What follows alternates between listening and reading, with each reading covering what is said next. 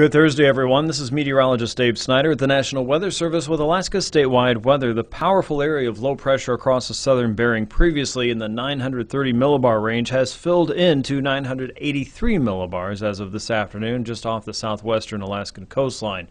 As that moves a lot of wind across southwest, Kodiak Island, and south central, even powerful, more powerful winds are moving across the south central coastline and the mountains there, where many areas are under high wind warnings through the remainder of the afternoon.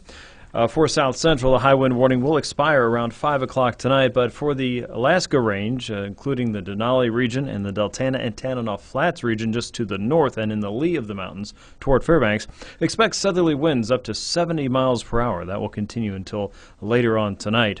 In southeast, a large channel of moisture moving across uh, the Gulf with those high winds is pointing right at northern sections of southeast. A uh, flood advisory is now posted for the northern half of the uh, southeastern archipelago, and as a result, uh, could see anywhere from one to as much as six, even seven inches of rain in some flood prone areas. Watch for small streams to come up with response to that heavy rain. Places like White Pass, currently seeing snow, should see that switch over to rain as conditions continue to warm up as we head into the overnight hours. For many across the lower interior and west coast, there will be an opportunity for rain to mix with snow, and in some cases, freezing rain may be an issue.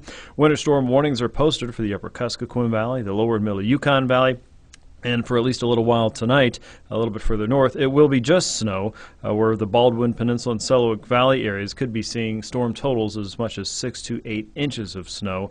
Uh, the previous locations there may see as much as 4 to 8 as we get into 6 p.m. on Friday.